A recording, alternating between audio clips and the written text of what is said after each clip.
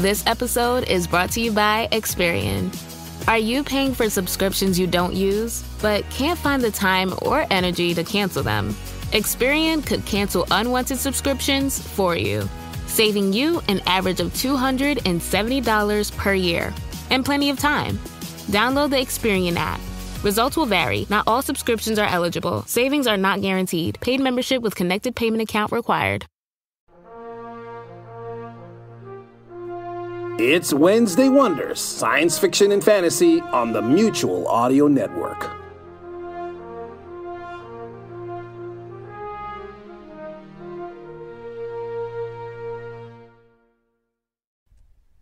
The following audio drama is rated PG for parental guidance.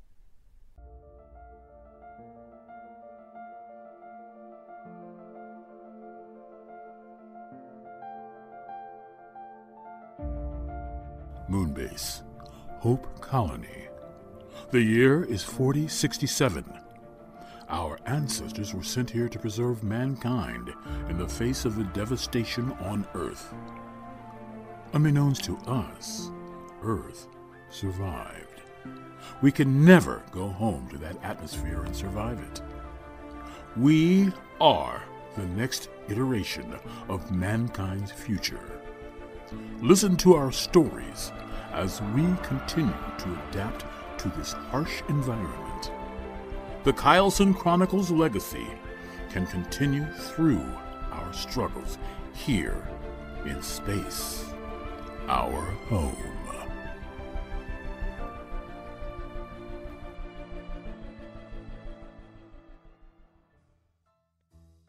Welcome back to the Carlson Chronicles.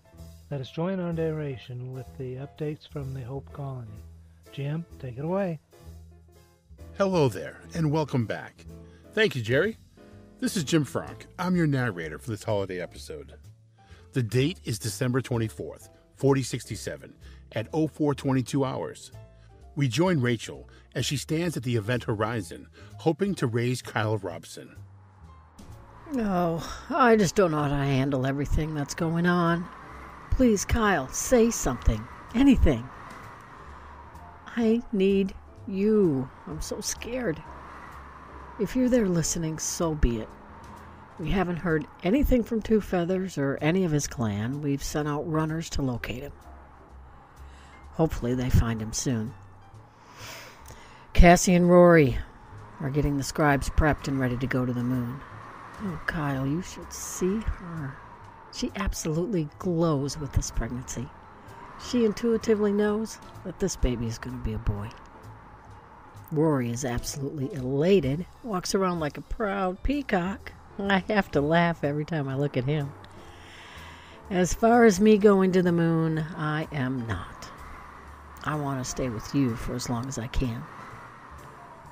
My life is already fulfilled with what we had and the kids. Besides, there will be those that do stay behind that'll need my help and guidance. Will teach them their studies, is what I've imparted to everyone that's asked. Ian will be going to Hope Colony. My heart hurts knowing that I won't see him or Cassie for a very long time, or maybe ever. Kyle, why don't you answer? Please come back to me. I'm being paged. I, I must return to help with the preparations. We will talk later, my love. What Rachel doesn't know is that Kyle was at the mouth of the event horizon listening. Because she did not enter the horizon, she never received the message he did speak. I'm here. It's not yet time for us to be together. I will always be here. December 24th, 4067, 0507 hours. It's time to find out what's going on with Hope Colony. Colonel Michaels and Santiago are in a heated debate over assigned quarters. Mo Gibbons joins them to find out all the needs for nutrition. She watches in amusement. They don't even realize she's there. I don't care. Protocols have to be followed. There are going to be people that need medical attention as they're coming through the passage. We are not going to have enough time to wait on protocols. You are the most stubborn man I have ever known. Look, This base and security is at my utmost concern, not to mention priority. If I have to go to Walker, I will do so. You insufferable pompous. Oh, I give up. Okay, okay, you two. Enough! This is not going to get either of you two anywhere. This bickering has to stop. Get a room and be done with it already. Mo. Well, you two fight like an old married couple. You, young lady, are so insolent. Let's see, Jamie. You see the medical side as the most important at any time on this base. In Santiago, you believe the security is always at risk. You're both right and wrong at the same time. There has to be some give in this situation. What are you suggesting? Santiago, of course, safety is the utmost importance. But these folks are coming from a planet that has just rejected them being there. Surely there can be a little relaxation to all these rules and regulations, can't there? Put like that, there has to be a way to overlook the most stringent of these rules. Just a little give. And you, yes, their health and mental welfare are just as important. However, did it ever dawn on you they just want to get to safety, probably rest, and then get their exams done maybe the next day? From the look on your face, that answer is yes. Good. Now, I have my own concerns. Come with me, both of you. Well, Mo sure settled that one. She always seems so quiet. As they go into Mo's office, more is happening outside of their view. We are going to take a short sponsor break. We'll be right back.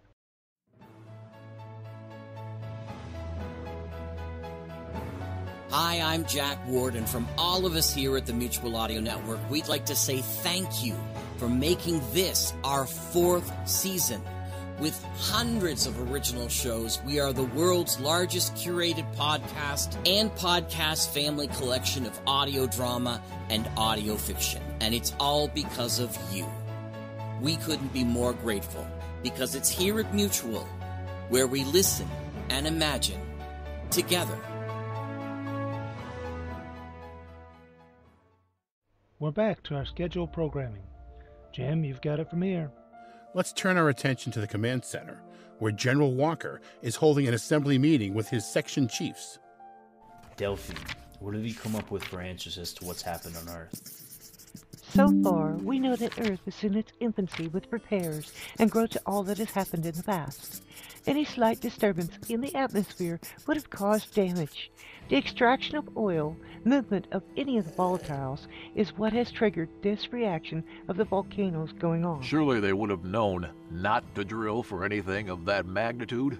They expected to be able to go back and do the same things their ancestors were guilty of in the first place. From what we've gleaned of the communications since the resurfacing from the freeholds, they have been doing exactly that. Good God, surely not. I would have thought all these drastic measures we'd taken would have told them not to go back to the old ways. What can be done to reverse this, honestly? It will take another 60, maybe a 100 years for this damage to be repaired through time alone. They can't put back what has been taken from the ground.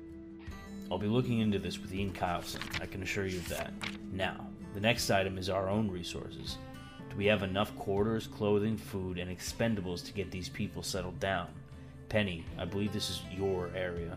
So far, we have enough reserves to handle the 5,000 refugees. This base can handle much more than that, though.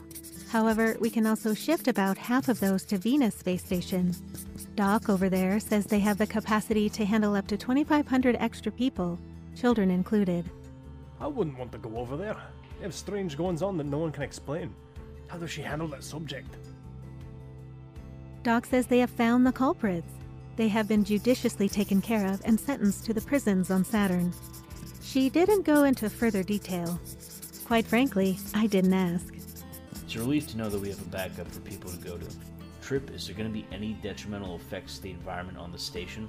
Not 100% sure on that note. I don't believe we will notice any change. We do have all the plants on the station to help purify the air. We may need several hundred more of those to pick up any residual downside. We have already started the germination process in hydroponics. The farm experts have given me a 20 day notice to completion. We do have the internal systems at only half capacity of use.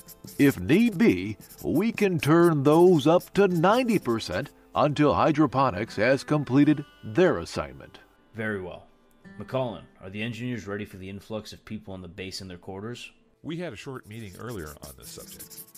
An improvised schedule has been implemented to take care of any possible problems that may arise.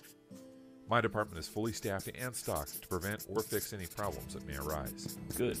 Let's break for lunch. Meet back here at, say, 1400 hours. Ruby, I'll need your help with a few things before I can go to lunch.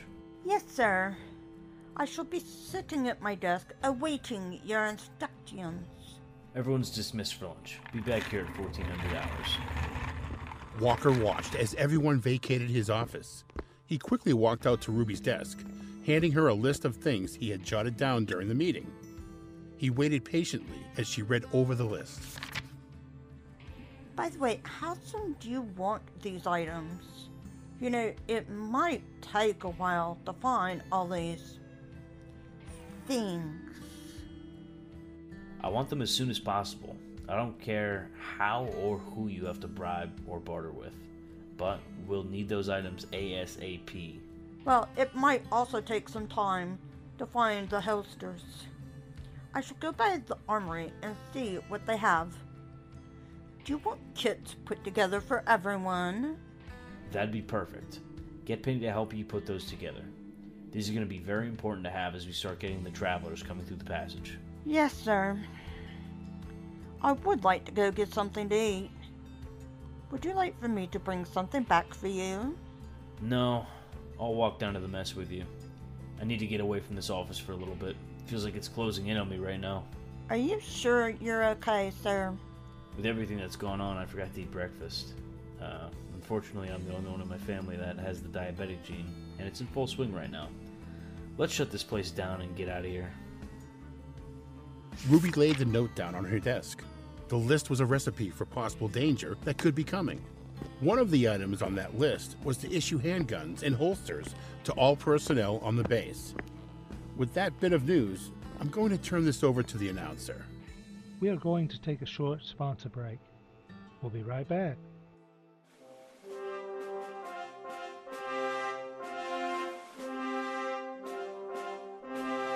From all of us here at the Mutual Audio Network, we thank all our listeners and creators for making us an award winning home for four seasons of audio drama and audio fiction.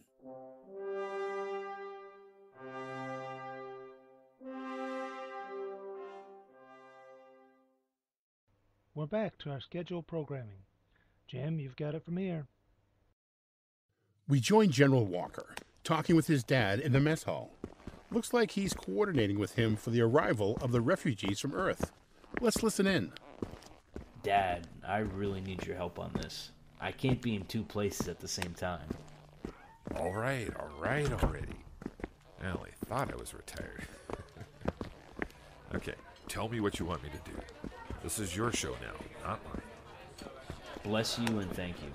What I need you to do is make sure all the dignitaries come in and get first rate handling. That's always been your forte, Dad. I'm counting on you to take good care of these folks, especially Ian Kyleson. I'll have his quarters in the upper officer's deck close to mine. This kid must be really important to you. What's so special about him? You're acting as though he's a four star general or something. In terms of civilians, he would be just exactly that. He's the head scribe for all of Earth, Dad. This young man has enough power behind him to shut this whole moon base down if he wanted to. Gracious. You see him as the equivalent to the King of England. Believe me, Dad, when I say he's all that and more. He's got many of the second sight gifts which all of us here are already familiar with. Ian's brought together many of the indigenous people in such a way that can broker no arguments. They treat him as though he's a messiah of sorts without the birth and death promises of old. He's fulfilled the actual prophecies of old here in our time. His father, Kyle Robson, also had that gift. He kept the people on the surface of Earth during the last 50 years in touch with other humans and brought about help and change to them they couldn't find anywhere else. So, yes, he's that important to all of us. Well, then, looks like I have my work cut out for me. I'll stop by your office after lunch to get my marching orders, as they say, and my kit. Who told you about the kits? I didn't hold your seat without knowing what to do in an emergency situation such as this, son. Go on, go go eat your food with Delphine. Heaven knows you won't get many chances of doing so for the foreseeable future, I'm afraid. Now go. The Admiral watched as his son joined his wife. He felt a twinge in his gut that did not bode well. He shook his head and finished his meal in silence with no interruptions. I would like to go back to Earth to see how the preparations are going there. Let's join Gene Binos to see how things are getting along. I'm not one to complain, but this water taxi is upsetting my stomach something awful. I wonder if they have any of those salts they were talking about as we boarded this blowfish of a boat. Well, hang on. I'll go get you something. Stay right there. These are sure fancy digs for a boat. I'm afraid to touch anything for fear of breaking something. Here you go. Now drink that down. It's not going to taste good, but it'll help with the motion sickness. Ah, my word, this is awful tasting. You ain't trying to poison me, are you? No. Hand me the glass and I'll take it to the sink. I'm thankful that Tony Homeperm got us on the radio like she did. We didn't know where to go with all these mountains throwing their guts up like that. That lava will devour everything in its path. You mark my word on that. I know, Gene. That's why I'm making it sure you make it to your destination as quickly as we can. I sure wish I could talk with Lars. They'd know how to smooth any fears you would have about this journey. They're probably holed up in one of those mountains you folks made your homes in.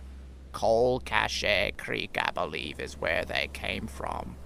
Hopefully, they will go to Freehold 3 and stay there until we get the all clear from your folks. I haven't been able to raise them on any communication device. I'll be honest with you, Gene. I'm flat worried about their disappearance. Speaking of Lars Olafson, ever since that volcano erupted, no one has heard from them. Let's join Ian as he tries to raise them on the radio channels. Home base to Lars? Lars, are you there? Over. Son, I, I don't think they're in a place to receive any radio signals. Be patient. I'm sure they are all right. You know, Lars, they have a tendency to just pop up when they're least expected. Look at that Halloween party we had and the guests they and Tony Homeperm invited. I don't know, Mom. I have this terrible feeling on this one. Sometimes I hate this gift, as you call it. I don't see it as that at all. It can be a hindrance at the most inopportune times. Ian, how are the preparations going to get these folks through the scribe's passage today? We have everyone notified to be in place at the event horizon by 1700 hours. We will start going through an hour later. I will go first to make sure that all is safe to travel to the moon base. When do Casey and Rory go through? I'm frightened for the baby and what effects it'll have on the unborn child. Mom, look at me. Cassie and the baby will be fine. If anything, it will enhance the baby's abilities, or gifts as you call them, for future use. Rory will be with her through the transfer. Mom, Ian has already explained what the possibilities are. Don't worry, I will be just fine. When did you get here? And how much have you heard? Most of the conversation. That doesn't matter. What does matter is Rory and I will be all right, as long as we are together. Rachel, I made a promise to take care of your daughter. I will not shirk that responsibility. Besides, our son has already shown us that we will be a family outside the freehold. Good lord. You mean to tell me he's communicating with you? How? Through my dreams. Beautiful dreams that show us with him, laughing, playing, and most of all, loving one another. Mom, don't worry. You will have enough to worry about here. You are going to be the scribe. Bobby April will be here as well. You can count on him and his wife to be your right hands, helping you through all of this. We'll have the capability of calling you each week from Hope Colony. Video calls are how they communicate to Earth, so you'll be able to see Cassie's progress with the pregnancy. I'm just thankful she's only at 24 weeks now. Her body will protect Jaren, Cohen, Forrester. Mom, you look as though you've seen a ghost. What's wrong? Oh, Cassie, you remembered. Thank you for this. It makes my heart swell for you and Rory. Your dad would have been so proud of you both. That is great news. I didn't even know you were having a boy. Well, congratulations to both of you. Look at the time. I need to get my things, finish packing, and go to the passage door. Cassie, Rory, I will see you in two hours. Always. In a rush to get somewhere. Rory, please make sure that Ian remembers to eat, at least. He won't go without eating. I promise you. Now get over here so we can hug you. We still have a few things ourselves to pack before we go to the moon. Oh boy! What a great revelation to let Rachel in on with the secret they had been holding back. To know that the baby already has the scribe's genes intact is fantastic news. He is going to be a strong leader when the time comes to take over for Ian.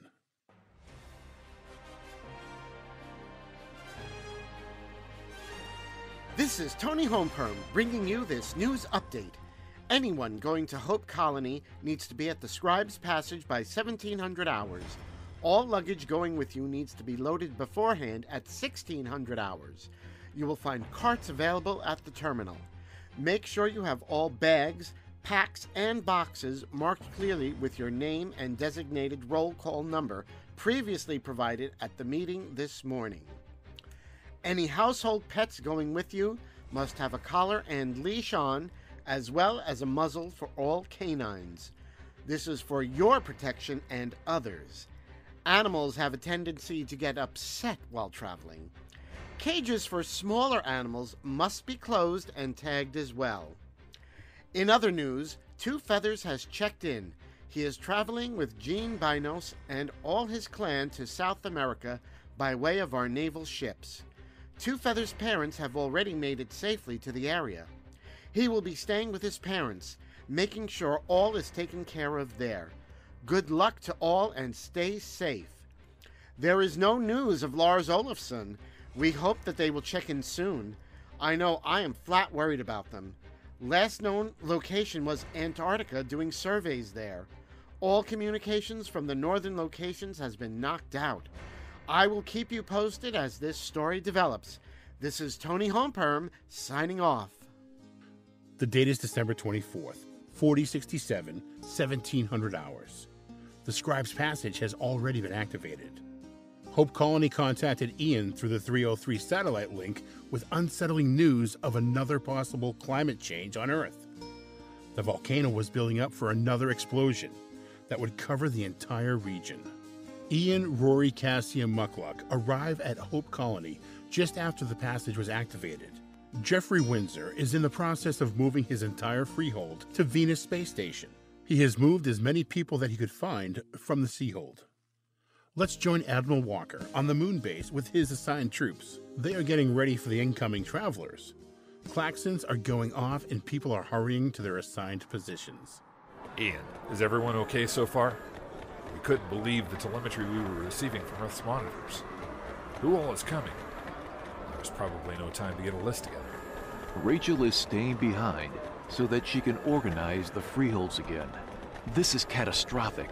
We had just started making progress on the surface. I will have a better idea of the list as soon as I can get settled in. Where are my quarters, please? Here is the cast in this episode. From the Carlson Chronicles, we have J.A. Babian, Gary Tangoy, Tim Evans, L. Arenz Schaff, Shelley Moore, Tony Homeperm, Bart Polin, Ellie Hirschman, Bruce Jaworski, and Daniel Abadi. From Moonbase Hope Colony, the cast was J.A. Babian, Joe Rubulowski, Molly Gibbons, Paul Lavelle, Ryan Birch, Sarah Pattison, Jennifer Blake, Judith Spengler, David Carter, and Cale Blake. Join us next time to find out how everyone fares with this unsteady environment on Earth. Will Venus Space Station handle their influx of travelers as well as Hope Colony? Find out next episode. Until then, I'm Jim Frank, your narrator. Thanks for listening to Tides of Change, a tale from the Moonbase Hope Colony trilogy. Music is from David Feslian Studios and used with license to this podcast. This has been a presentation of Privy Project Production. For more information about the book, author, or the narrator, visit www.privy-projects.com. We'll see